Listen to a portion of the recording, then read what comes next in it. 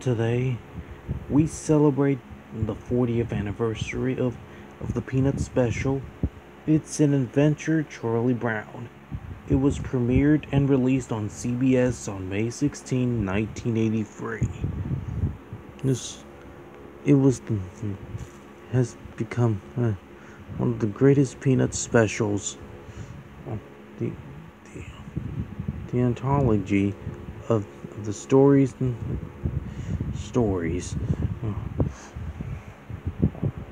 about to focus about Snoopy or or other Peanuts characters.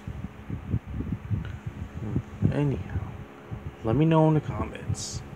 And this is Minion Fan 1024 signing off.